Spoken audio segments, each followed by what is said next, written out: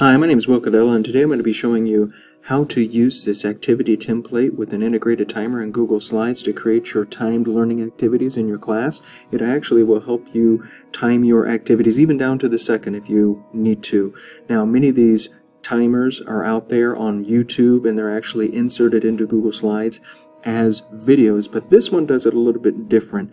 Um, those videos can be a little bit uh, problematic sometimes. For example, if that video gets deleted by the creator on YouTube and all of a sudden that video is no longer available in your learning activity, or sometimes there's a weak internet signal and that timer won't load up or just won't play correctly in the slide presentation. So this will hopefully alleviate a lot of those issues. The first thing I want to do is I'm going to actually come down here. I'm going to click and drag over these bits of text here and these arrows and delete those. And I'm actually going to create the learning activity that I want to make right here. I'm just going to create a little graphic here.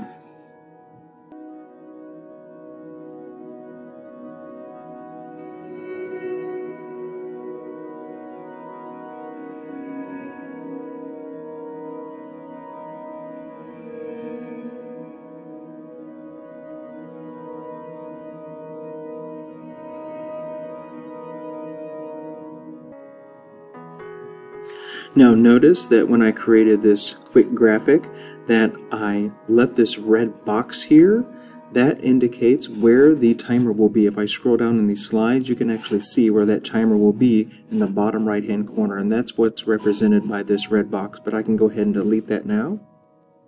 And here are some examples on some other slides right here that I've created just to kind of give you a better idea. In fact, if you wanted to use one of these, you can actually click on the little watermark example text there and you can actually delete that if you wanted to and just use one of those slides as your template.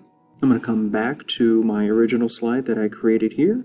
Now I'm going to go to File, Download, and I'm going to download a PNG just as a quick note. PNG is usually a bit better if it's very simple graphics. If it's something that has photography in it, you probably want to do JPEG, but I'm going to do PNG right now. I'm going to actually go up to slide, change background, then I'm going to choose image, click on browse, I'm going to find that image that I just downloaded, click on that, open it up.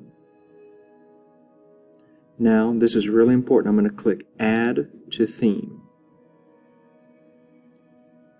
Then, I'm going to click done. Now I'm going to delete slides 1 through 6, that's that first slide, and the examples. Now a quick little tip, I can delete each one of these individually, or I can save myself some time by clicking on the first one, hold down the shift button, and click on the last one that I wanted, and then just press delete, and it deletes all those previous slides. Now I need to decide how long I want this presentation to be.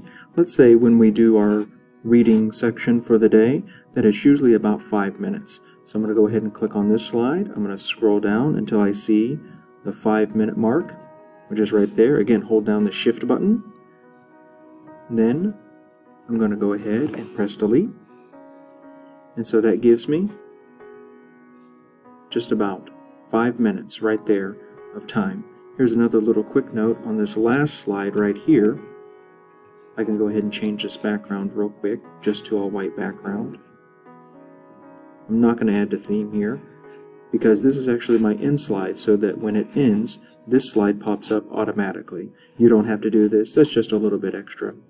So now that I have my five minute reading timer here, I'm going to go back up to File, Publish to the Web, You'll see a publish button down here. But before I do that, I'm going to make sure that I select every second and check this box, Start Slideshow as soon as the player loads. And then I click Publish. Click OK. Now I have a link I can copy there, just Control C. Now I can go open up a new tab. And I can see that my learning activity with integrated timer automatically plays. You can also tape this same link that you copied and you can bookmark it. So this again is something you do on a regular basis in your classroom then you can go ahead and have that ready and you can just bookmark it every single day and it'll be ready to go.